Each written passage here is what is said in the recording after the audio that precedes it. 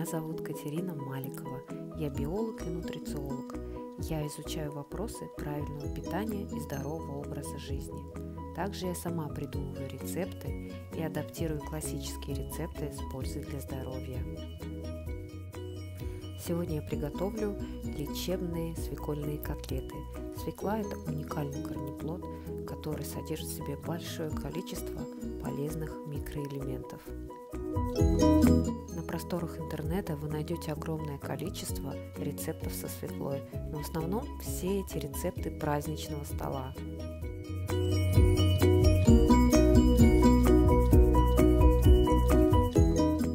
Свекла содержит большое количество пищевых волокон, поэтому рецепт можно смело назвать диетическим.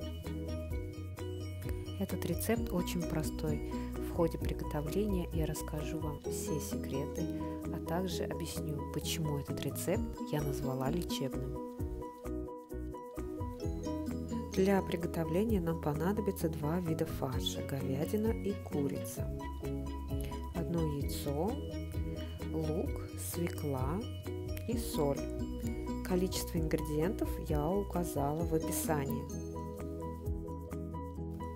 Кстати, в луке содержится большое количество растворимой клетчатки в виде слизи, которая необходима нашей полезной кишечной микрофлоре. Я люблю, когда лука много. Во-первых, лук придает сочность фаршу. Во-вторых, лук содержит полезную клетчатку. Ну а в-третьих, лук как бы маринует мясо тем самым улучшает вкусовые качества продукта.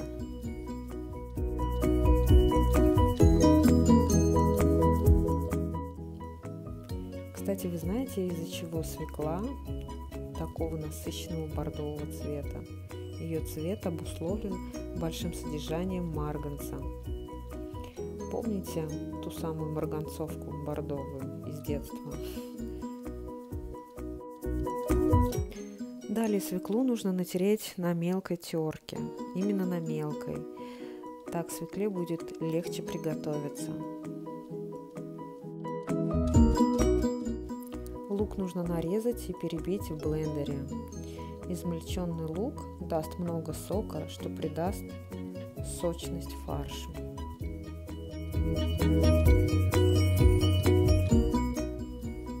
Блендерить нужно короткими рывками а для легкого перемалывания я добавляю воду.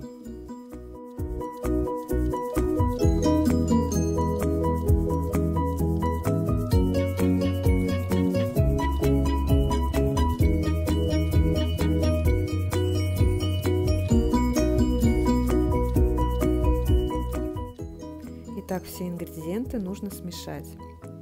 Я хочу обратить ваше внимание на состав фарша. В этом фарше нет хлеба, нет злаков, никакой крупы. То есть здесь только мясо и клетчатка.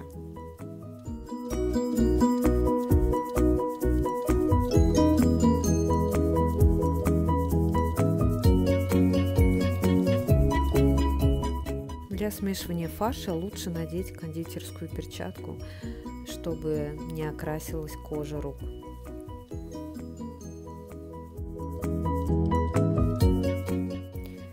Какими же еще полезными свойствами обладает свекла? Помимо марганца в свекле очень много цинка, очень много меди и железа.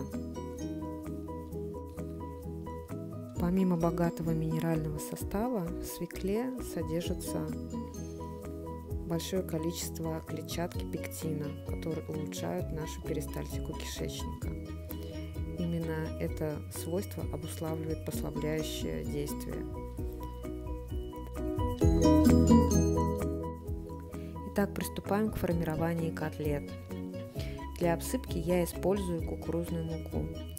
Я не рекомендую использовать пшеничную муку, потому что в ней много глютена, и этот белок при нагревании подгорает и получается такой нагар на сковороде. Также можно использовать рисовую муку или гречневую муку, Я пробовала разную муку и остановилась на кукурузной. Ее я использую чаще всего для котлет. Она не горит на сковороде и не, не портит вкусовых качеств продукта. Также я не рекомендую делать слишком большие котлеты, так как свекла может не протушиться в больших котлетах. Лучше делать такие небольшие биточки.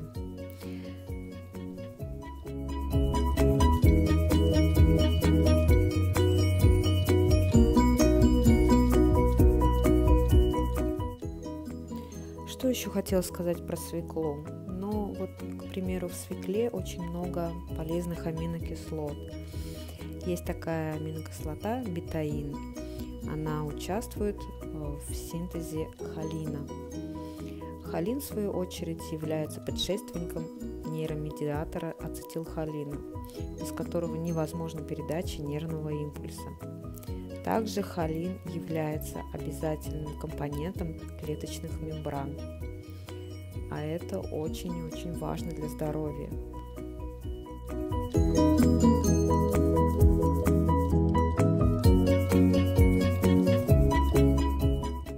Несмотря на все полезные свойства свеклы, у нее есть противопоказания.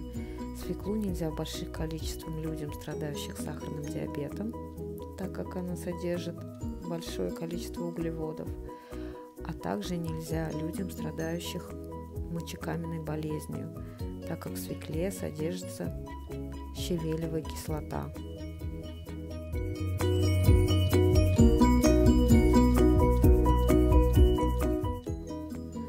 Часть котлет готова, эту часть я заморожу.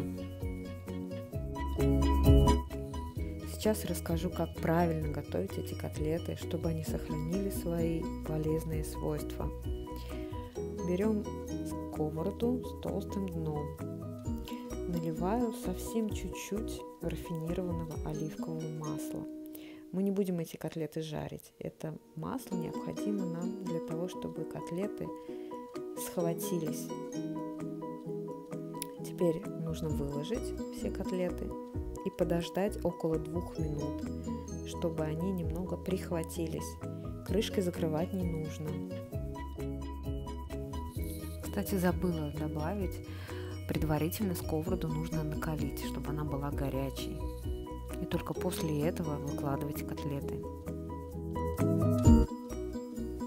Примерно через 2-3 минуты котлеты нужно перевернуть посмотрите, у них образовалась небольшая такая корка. Они просто прихватились. Это нужно сделать для того, чтобы в процессе приготовления, в процессе тушения они не расползлись.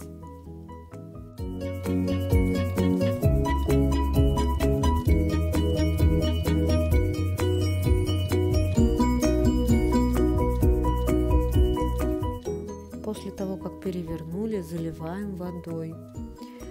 Вода должна наполовину покрывать котлеты. После этого закрываем крышкой, убавляем мощность. На электрической плите у меня это четверка. И тушим. Приготовление займет около 30 минут. Посмотрите, какие сочные котлеты получились. Их уже сейчас охота съесть. Давайте посмотрим в разрезе. Они очень хорошо протушились, мягкие, сочные.